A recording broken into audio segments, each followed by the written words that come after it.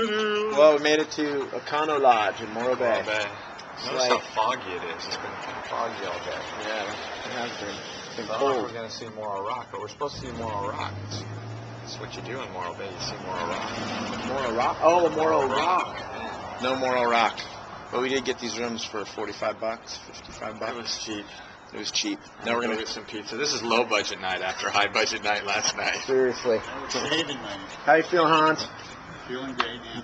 Million bucks. The ice cold shower, the ice cold bath afterwards, invigorating. You did not. I tried for about 10 seconds. You did? Bad